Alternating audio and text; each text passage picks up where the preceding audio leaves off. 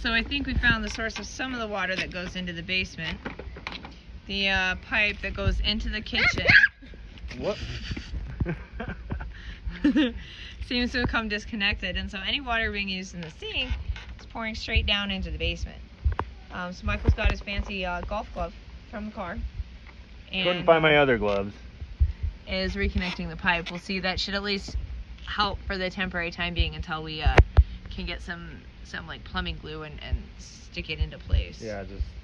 So, uh, It's in my shirt. I know. It took me ten minutes to get it all out. they were attacked by these The funky stickies. little fur things here. Um. All right, Alex, can you go turn the water on? Yes, Go by turn the the way, water on. look at my I know on he's got my 'em arm. all over his shirt. Go turn the water on, and we'll see what happens.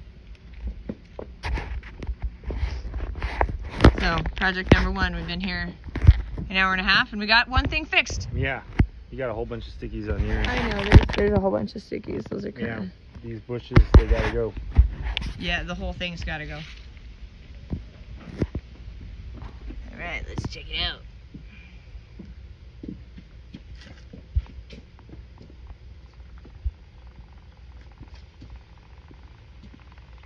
It sounds like rocks are rolling down the pipe.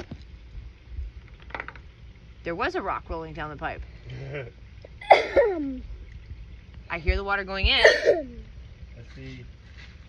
Let's see if it's coming out the right way where it should be Yep. into our Coming out. gray water drainage area. Which should probably be extended out a little bit. Uh, yeah, it looks like it used to be, but it's been cracked. We'll have to come up with something creative and uh, good to use the gray water for. yeah. But at least there's no leak coming from there at the moment. All right, bud, can you go turn the water off? Yep. Thank you. Oh, there is there is a leak coming from right here. See, it's leaking from this pipe. What, this connecting pipe? Uh, yeah, the connection pipe. Let me see, Alex.